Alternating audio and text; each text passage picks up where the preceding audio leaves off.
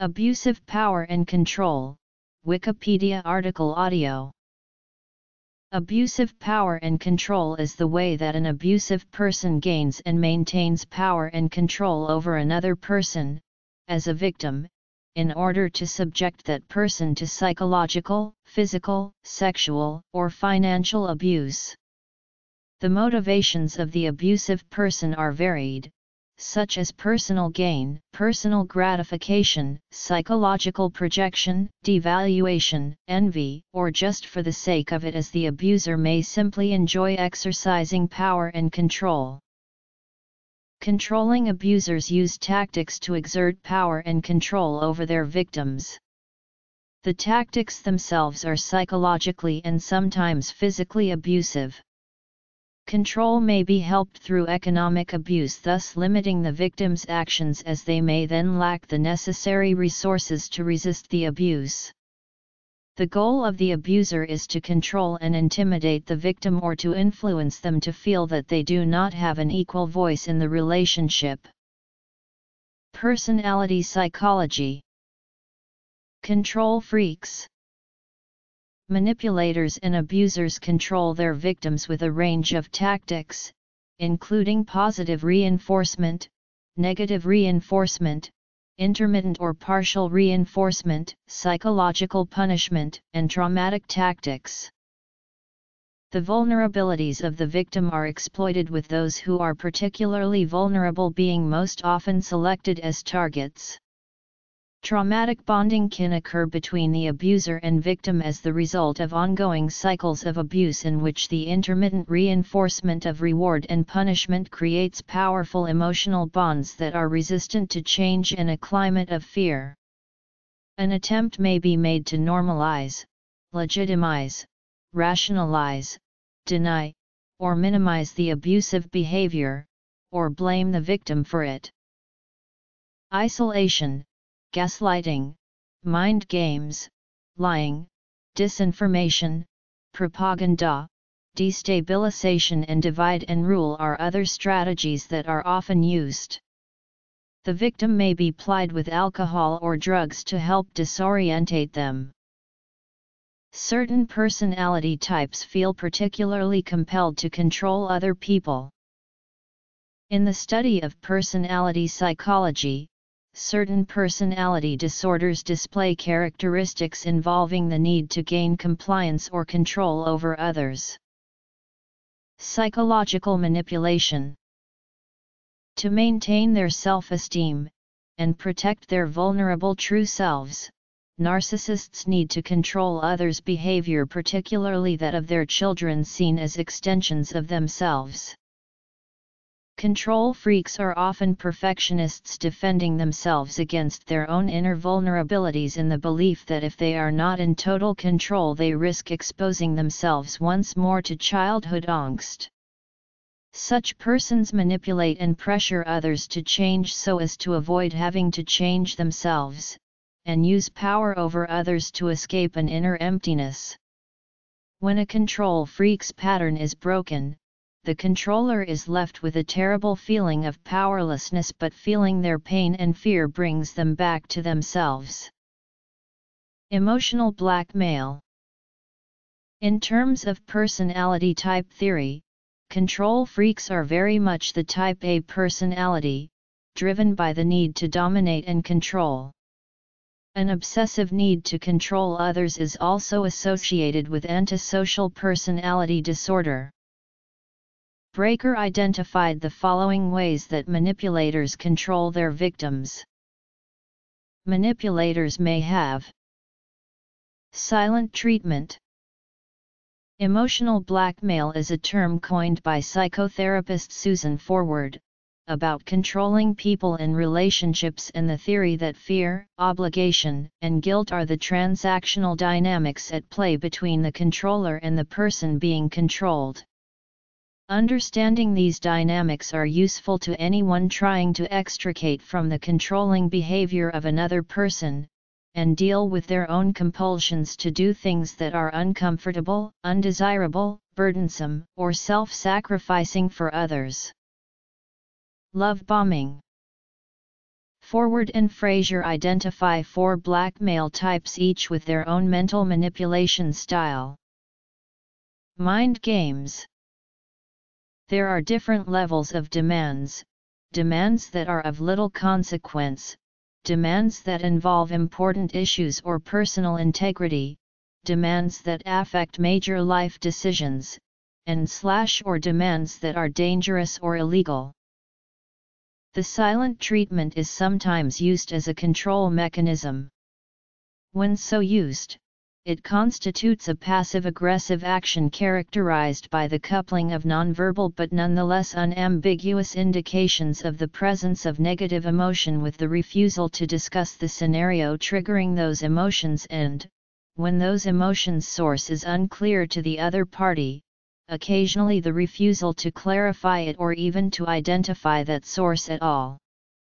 As a result, the perpetrator of the silent treatment denies the victim both the opportunity to negotiate an after-the-fact settlement of the grievance in question and the ability to modify his slash her future behavior to avoid giving further offense.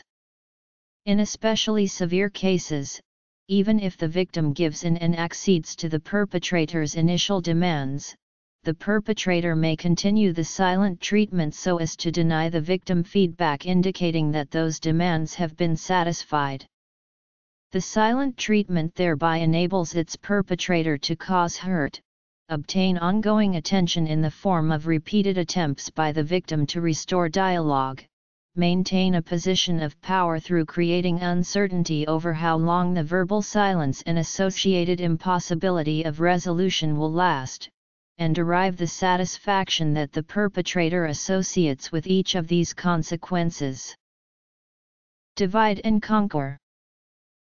The expression has been used to describe the tactics used by pimps and gang members to control their victims, as well as to describe the behavior of an abusive narcissist who tries to win the confidence of a victim. One sense of mind games is a largely conscious struggle for psychological one-upmanship, often employing passive-aggressive behavior to specifically demoralize or disempower the thinking subject, making the aggressor look superior, also referred to as power games. In intimate relationships, mind games can be used to undermine one partner's belief in the validity of their own perceptions. Personal experience may be denied and driven from memory, and such abusive mind games may extend to denial of the victim's reality, social undermining, and the trivializing of what is felt to be important. Both sexes have equal opportunities for such verbal coercion, which may be carried out unconsciously as a result of the need to maintain one's own self-deception. A primary strategy the narcissist uses to assert control, particularly within their family, is to create divisions among individuals. This weakens and isolates them, making it easier for the narcissist to manipulate and dominate. Some are favored, others are scapegoated. Such dynamics can play out in a workplace setting. The Power and Control Wheel was developed in 1982 by the Domestic Abuse Program in Minneapolis to explain the nature of abuse, to delineate the forms of abuse used to control another person, and to educate people with the goal of stopping violence and abuse.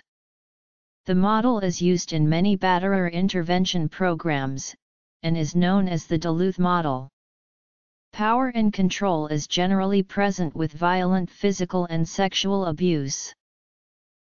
In an intimate relationship, often the abusers are initially attentive, charming, and loving, gaining the trust of the individual that will ultimately become the victim, also known as the survivor.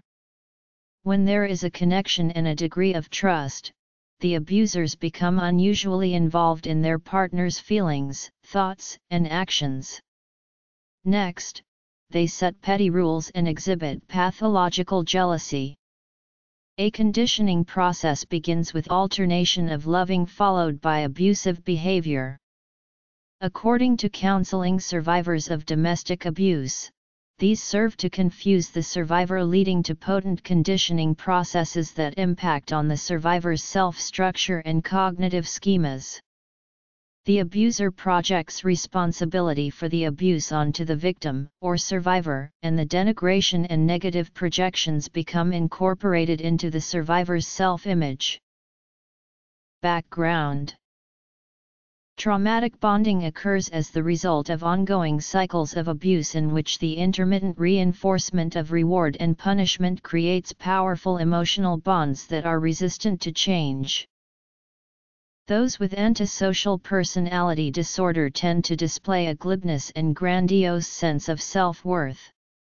Due to their shallow affect and lack of remorse or empathy, they are well suited to con and slash or manipulate others into complying with their wishes.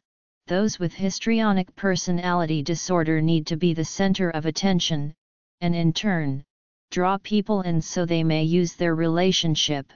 Those with narcissistic personality disorder have an inflated self-importance, hypersensitivity to criticism and a sense of entitlement that compels them to persuade others to comply with their requests. Controlling abusers use multiple tactics to exert power and control over their partners. According to Jill Cory and Karen McAndless-Davies, authors of When Love Hurts, A Woman's Guide to Understanding Abuse in Relationships, each of the tactics within the power and control wheel are used to maintain power and control in the relationship. No matter what tactics your partner uses, the effect is to control and intimidate you or to influence you to feel that you do not have an equal voice in the relationship.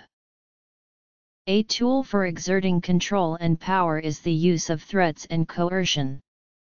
The victim may be subject to threats that they will be left, hurt, or reported to welfare. The abuser may threaten that they will commit suicide.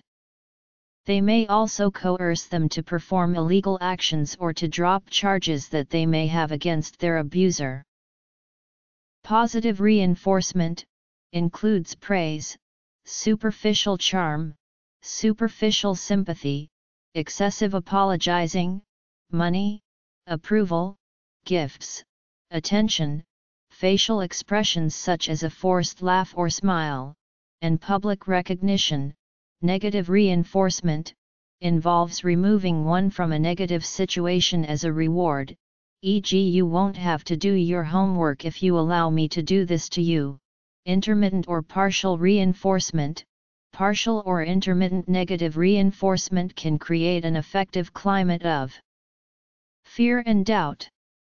Partial or intermittent positive reinforcement can encourage the victim to persist. Punishment, includes nagging, yelling, the silent treatment, intimidation, threats, swearing, emotional blackmail, the guilt trip, sulking, crying, and playing the victim, traumatic one trial learning, using verbal abuse, explosive anger, or other intimidating behavior to establish dominance or superiority, even one incident of such behavior can condition or train victims to avoid upsetting, confronting or contradicting the manipulator. At its most effective, the abuser creates intimidation and fear through unpredictable and inconsistent behavior. Absolute control may be sought by any of four types of sadists explosive, enforcing, tyrannical, or spineless sadists. The victims are at risk of anxiety, dissociation, depression, shame, low self-esteem and suicidal ideation. Control development Tactics Coercion and threats Intimidation Abused individuals may be intimidated by the brandishing of weapons, destruction of their property or other things, or use of gestures or looks to create fear. A strong need to attain feelings of power and superiority in relationships with others, a want and need to feel in control, a desire to gain a feeling of power over others in order to raise their perception of self-esteem. An effective means of ensuring control and power over another is to control their access to money.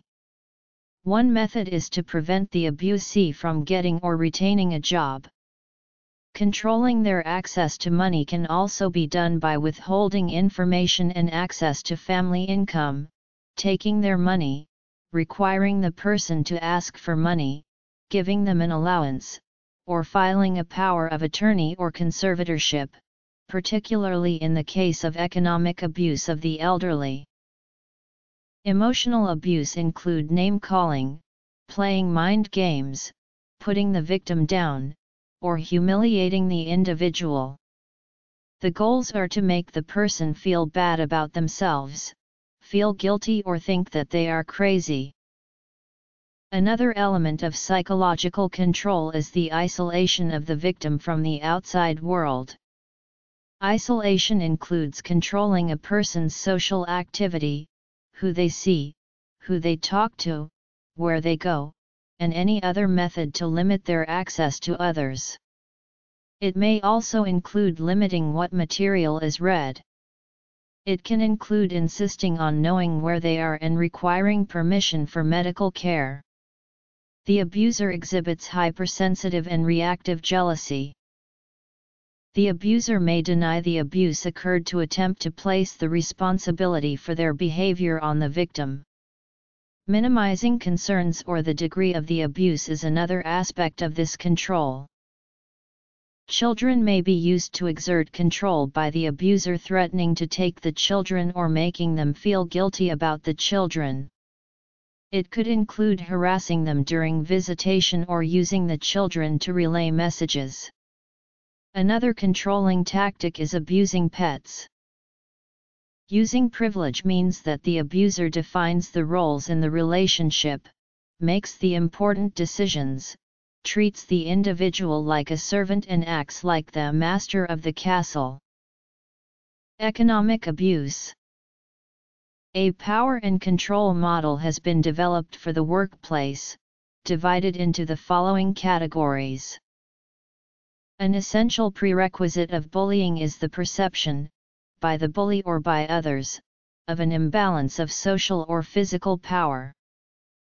The authors of the book Snakes in Suits, When Psychopaths Go to Work describe a five-phase model of how a typical workplace psychopath climbs to and maintains power.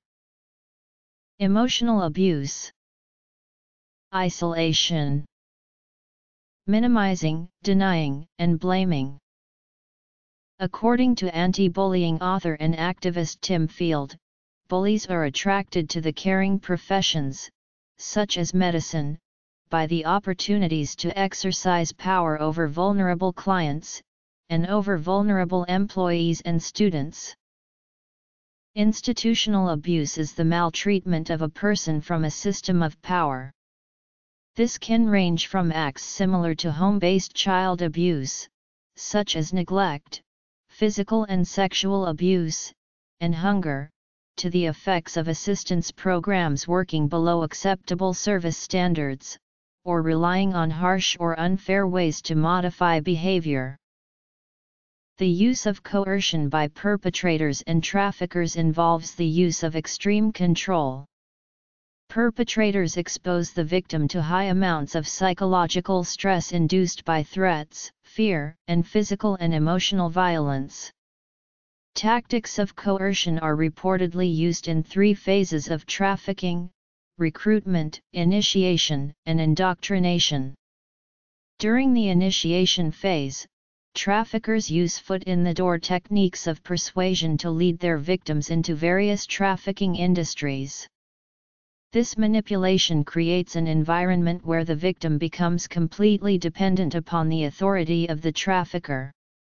Traffickers take advantage of family dysfunction, homelessness, and history of childhood abuse to psychologically manipulate women and children into the trafficking industry. The goal of a trafficker is to turn a human being into a slave. To do this, perpetrators employ tactics that can lead to the psychological consequence of learned helplessness for the victims, where they sense that they no longer have any autonomy or control over their lives. Traffickers may hold their victims captive, expose them to large amounts of alcohol or use drugs, keep them in isolation, or withhold food or sleep. During this time the victim often begins to feel the onset of depression, guilt and self-blame, anger and rage, and sleep disturbances, PTSD, numbing, and extreme stress. Under these pressures, the victim can fall into the hopeless mental state of learned helplessness. Children are especially vulnerable to these developmental and psychological consequences of trafficking because they are so young. In order to gain complete control of the child, traffickers often destroy physical and mental health of the children through persistent physical and emotional abuse. Stockholm Syndrome is also a common problem for girls while they are trafficked, which can hinder them from both trying to escape, and moving forward in psychological recovery programs. Using children and pets. Oppression is the exercise of authority or power in a burdensome, cruel, or unjust manner. The practice of repression in Zersetzung comprised extensive and secret methods of control and psychological manipulation, including personal relationships of the target, for which the Stasi relied on its network of informal collaborators, the state's power over institutions, and on operational psychology. Using targeted psychological attacks the Stasi tried to deprive a dissident of any chance of a hostile action. Individuals with sadistic personality disorder derive pleasure from the distress caused by their aggressive, demeaning and cruel behavior towards others. Sadistic people have poor ability to control their reactions and become enraged by minor disturbances, with some sadists more abusive than others. They use a wide range of behaviors to control others, ranging from hostile glances to severe physical violence. Within the spectrum are cutting remarks, threats, humiliation, coercion, inappropriate control over others, restrictive of others' autonomy, hostile behavior, and physical and sexual violence. Often the purpose of their behavior is to control and intimidate others. At the affective level, the sadist shares many of the critical features of the psychopath, they lack remorse for their controlling and exploitative behavior, they do not experience shame or guilt, and they are unable to empathize with their victims. They are cold-hearted. The sadistic individual are likely rigid in their beliefs, intolerant of other races or other outgroups, authoritarian, and malevolent.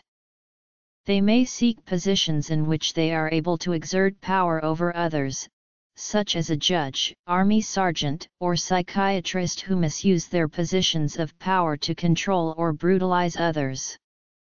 For instance, a psychiatrist may institutionalize a patient by misusing mental health legislation. The main objective for one type of serial killer is to gain and exert power over their victim.